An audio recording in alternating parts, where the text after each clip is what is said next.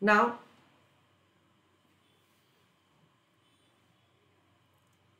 let us have understanding of a point before we proceed for the next question.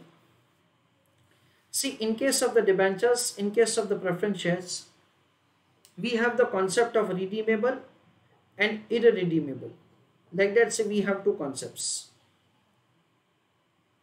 In case of equity share, whether we will have two concepts or single concept, please write in the chat box.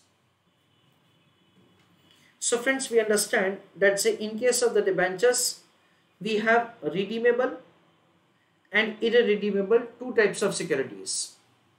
In case of preference shares also, we have two types of securities, redeemable and irredeemable. But in case of equity shares, we have only irredeemable security. We don't have the concept of the redeemable security. That is what we understand. So we understand that so over here, so we are going to have understanding of calculation of the cost of equity, so which is of course issued for perpetuity. Now, whenever a security is issued for perpetuity, then how do we compute the cost? Let us recall that KD is calculated as interest into 1 minus T divided by amount. This is the way the KD is calculated. KP is calculated as preference dividend divided by amount. This is the way the KP is calculated. Wherein we understand that say in case of the perpetual security, so this is what's the way we make the calculation of the cost of capital. Now listen carefully what I am going to speak. See, in case of the debenture, what will happen?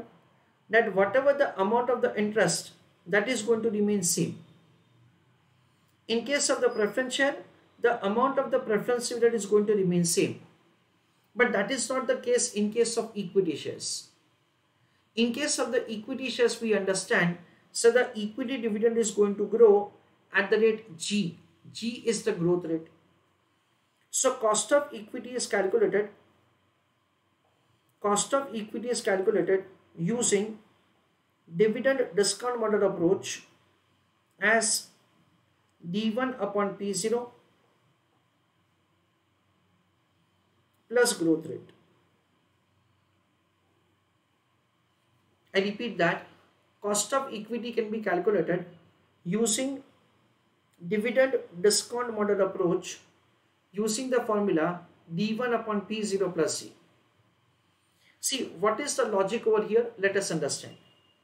As a company, I get the price of the security today from the investor. So over here it is P0. P stands for the price and 0 stands for the current price. So instead of amount received, over here it is written as P0 because that is the amount which I receive so for equity share issue.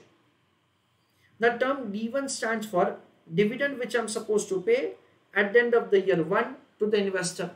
So the numerator is the cost and denominator is the amount what I receive from the investor. And uh, say we add G growth rate. What is reason for adding the growth rate sir? The answer to the question is very simple. We know that say this amount of the dividend is going to grow. So whatever the rate at which the dividend is going to grow is added over here in terms of the growth rate. That is the way we compute the cost of equity. Now friends, in case of the new issue of the equity share, we can very well understand that say over here, flotation cost will be deducted. Why? Because we understand that say the company is required to incur the cost in terms of the flotation cost at the time of raising funds. So flotation cost is deducted from P0 to compute that so the amount that will be received by the company. Dear students over here, apart from this dividend discount model approach, there is an another method by which the cost of equity can be calculated and that is given a technical name as CAPM. The term CAPM stands for capital asset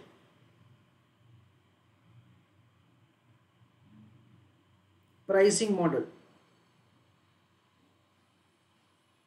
with this we make the computation of cost of equity. Now using CAPM say how to make the calculation of the cost of equity that we are going to understand slightly later on. However friends always remember whenever you have been provided with the beta information whenever you are provided with beta information we have to apply CAPM for calculation of the cost of capital. Okay. In that case how to do answer? That we are going to discuss slightly later on. Dear students one more method that we have for cost of equity calculation which is given a name as yield to maturity method. And at the same time it is also given a name as IRR method. So IRR or yield to maturity method that say we have for calculation of the cost of equity. In that say how to make the calculation of the answer is very similar to say what we have in case of the KD and KP for redeemable security with IRR method. It is exactly the same that is what you can say. IRR stands for internal rate of return YTM stands for yield to maturity. Of course, that is also what we are going to discuss. Next, we are going to understand calculation of the cost of equity using earning approach. There is one more method that we have called earning approach. In case of earning approach, we make the calculation of the cost of equity uh, in our chapter called dividend policy there is a method called earning approach which we apply for calculating cost of equity and so that is included in our um, a chapter which is given a name as dividend policy. In this chapter we do not have say any question as such to be solved using the earning approach. So over there we are going to discuss say the earning approach to be adopted for KE calculation. So we can conclude something like this that for the purpose of cost of equity calculation, we have four methods. The first one is given a name as technically called dividend discount model approach. The first is given a name as dividend discount model approach. That is what's the method number one. Second method is called CAPM that is capital asset pricing model. That method is required to be applied if beta information is given. Uh, beta is a word that say we come across in our chapter of leverage also. Third, there is a method called YTM yield to maturity or it is given a name as IRR method and the fourth is earning approach.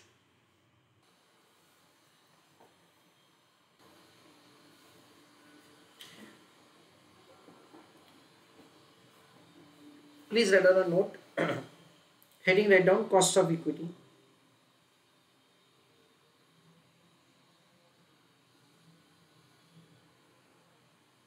In bracket write down KE first point.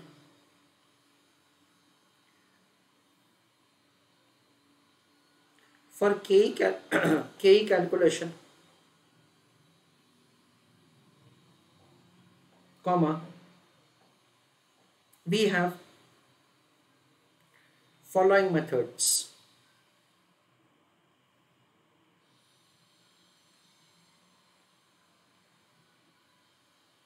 In the down A DDM in bracket write down dividend discount model approach.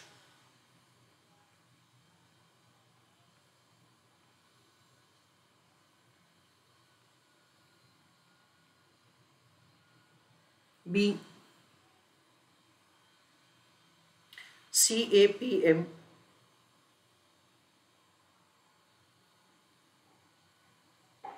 capital asset pricing model C YTM slash IRR method. In bracket write down yield to maturity or internal rate of return method.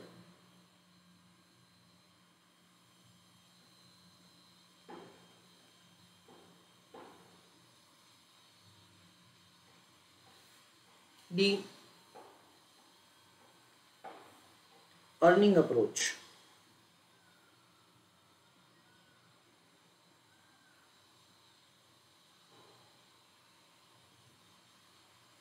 So these are the four methods that we have.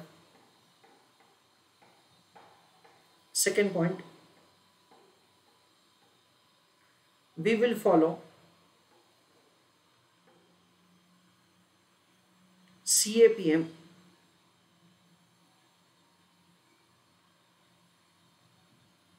when beta information is given.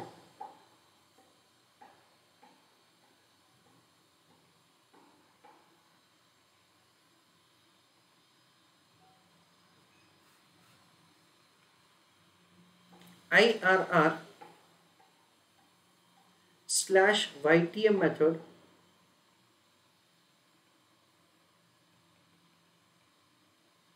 will be followed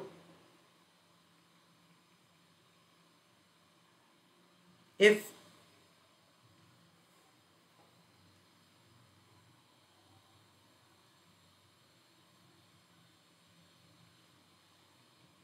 it is specifically given.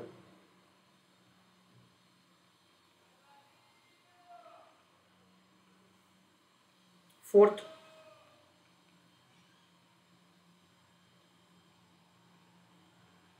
earning approach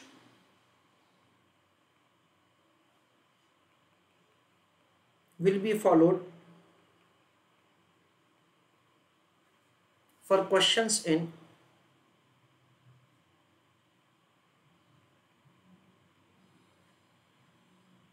dividend policy.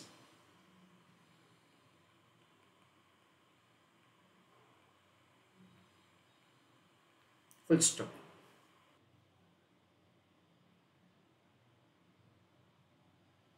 Next point. Generally, we will follow dividend discount model approach. Full stop. In that, cost of equity will be found as under.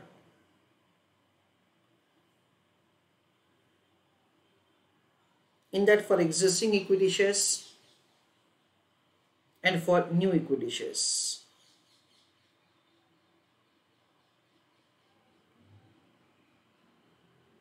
Existing equity shares in that d1 upon p0 plus growth rate.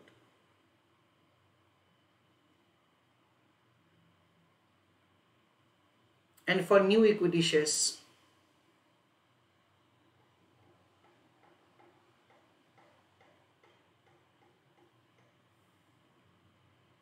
it is d1 upon p0 minus flotation cost plus growth rate. The term P0 stands for current market price of equity share.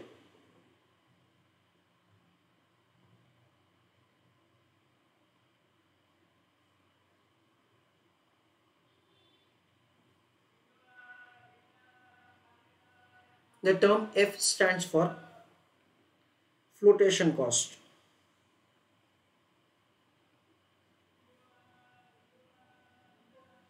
G stands for growth rate.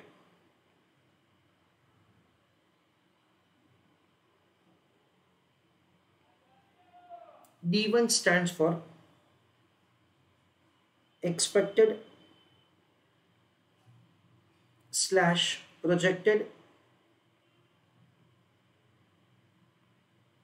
slash next year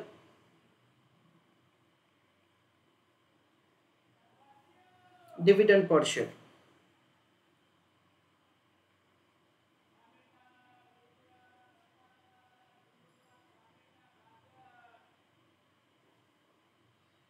That is what we understand. And as far as D1 is concerned, D1 is calculated as E1 into 1 minus B. And as far as the growth rate is concerned, it is calculated as B into R. So the term E1 stands for the expected, projected or next year earning per share. B stands for the retention ratio. R stands for the rate of earning. And 1 minus B stands for dividend payout ratio. Okay. Let us have understanding how to calculate the that that's uh, let us have understanding of one more point. Now friends over here you can see that in the formula we require the dividend at the end of year one. And this is what's the price of equity share right now. Now number of times what happens that say we are provided with the information about uh, just paid dividend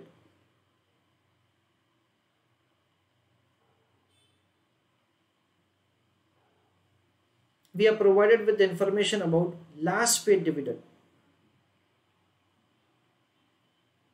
We are provided with information about currently paying dividend.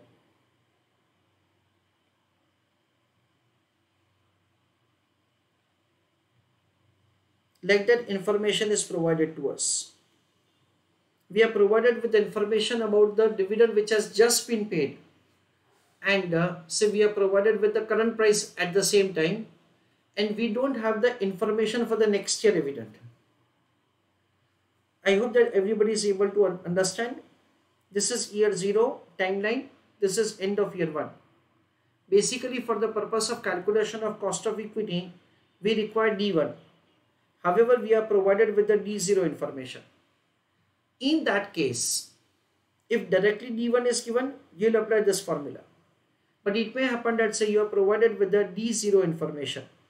Then in that case you are required to compute the D1 based on D0. So in that case you'll apply the formula like this. D1 is equal to D0 into 1 plus G raised to 1. That is the simple formula. So what will happen? We understand that say this is D0 that is called just paid dividend or last paid dividend or currently paid dividend. And then, so you're required to compute the D1 by applying a formula like this, D0 into 1 plus G. Please write down this formula. So friends, basically, for all the questions, you don't, have to, you don't have to apply this formula. You have to look to the information to the question and based on that, say, you're required to apply this formula. So this formula may be required, may not be required, look into the information given. This is what we understand. So write down a note for this.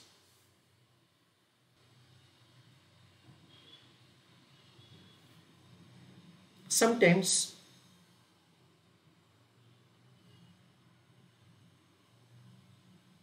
it may happen that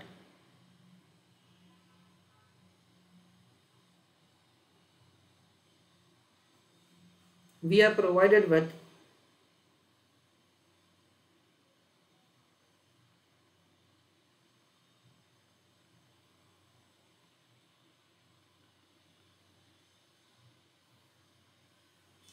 last year dividend per share comma however we require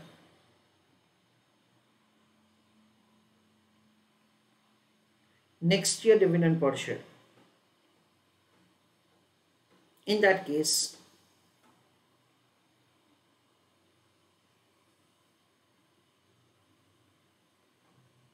we will apply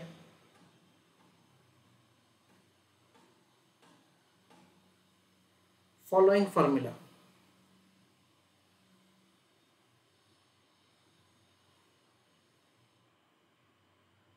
Please write down this formula.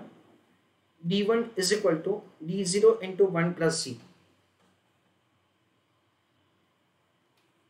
Let us see the next question. Messrs. Reliance Industries Limited pays dividend of rupees 5. Market price of the equity share is 80 rupees. New issue is subject to 2% flotation cost. You are required to calculate the first question is cost of existing equity shares and second question is cost of new equity share. I request you to calculate answer for both the questions and put your answer in the chat box. Let us have understanding how to calculate the answer. Now cost of equity is required to be found for existing equity shares.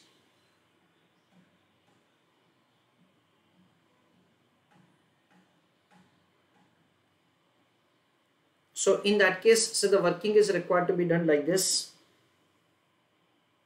d1 upon p0 plus g. We will not take into account the flotation cost in the first part of the question. That is in this calculation for existing equity shares because you don't have to incur the flotation cost for the purpose of calculating the cost of existing shares. The question is providing that so the company is paying dividend of rupees 5 no growth information is given. So the next year dividend will be 5 itself. Current market price is 80 and the growth rate is 0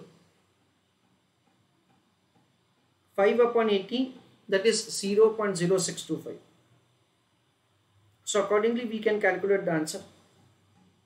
0 0.0625 that is 6.25 percentage that is the way the cost of equity can be found for existing equity shares. Next, cost of equity for new equity shares. As far as for new equity shares, we can work out the answer like this. D1 upon P0 minus flotation cost plus growth rate. What is D1? D1 is the expected or projected dividend. That is an amount of rupees 5. Divided by P0 is again 80 rupees.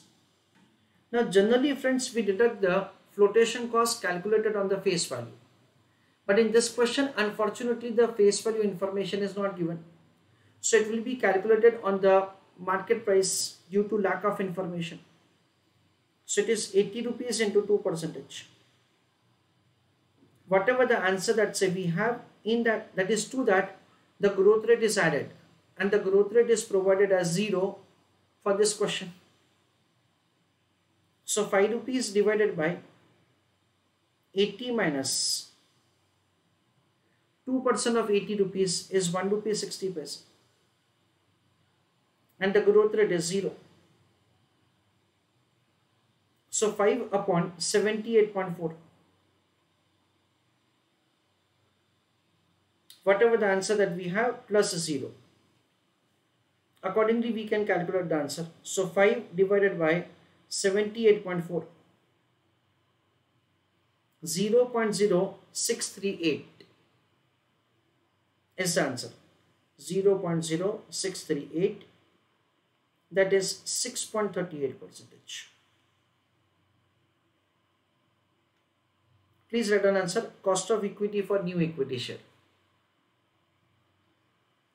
okay. Write on a small note for this. In this question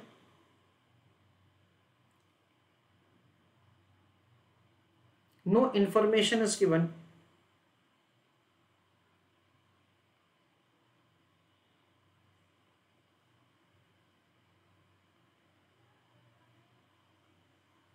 for face value of security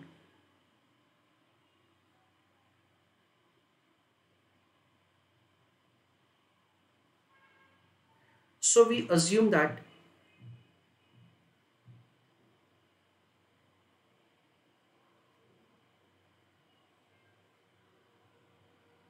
flotation cost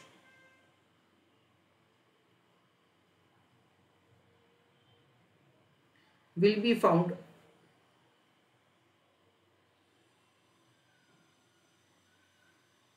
on issue price.